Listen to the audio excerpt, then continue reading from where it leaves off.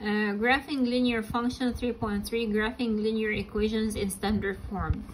To graph a linear equation uh, in a standard form uh, into ax plus by equal c find the x-intercept by setting y equal 0 and solving for x then find the y-intercept by setting x equals 0 and solving for y plot these two points on a coordinate plane and draw a straight line connecting them to graph the equation.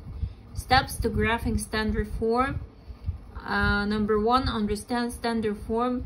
A linear equation in standard form is written as ax plus uh, plus by equals c, where a, b, and c are integers, and neither a nor b is zero.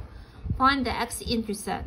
Substitute 0 for y in the equation and solve for x. The x-intercept is the point where the line crosses the x-axis, so its y-coordinate will, will always be 0. Find the y-intercept, substitute 0 for x in the equation and solve by y.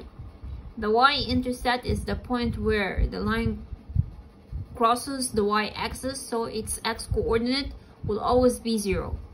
Plot the intercepts on a coordinate plane, plot the x-intercept, the point with the x value you found and a y value of 0.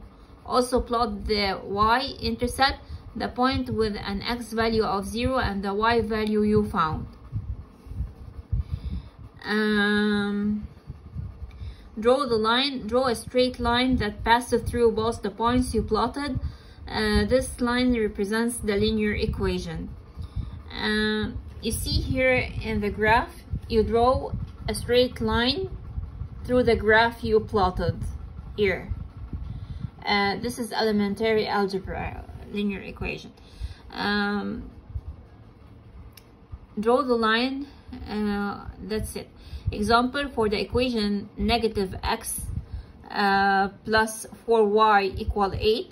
Find the x-intercept, set y equals 0 uh, colon uh, negative x minus 4 into 0 equal 8 uh, minus x equal 8 x equal 8 the x-intercept is negative 8 to 0 find the intercept set x 0 into 0 minus into 0 uh, 0 colon dash into 0 plus 4y equal 8 uh, forward on 4y equal 8 forward on y equal to the y-intercept 0 and 2 in the set. Graph, plot the point uh, intercept negative 8 to 0 and intercept 0 to 2 and the coordinate plane and draw a line through them. Here, this is the coordinate plane into 0 and we draw a line into them. And that's it for uh, graphing linear functions uh, 3.3 graphing linear functions in standard form. Happy learning and enjoy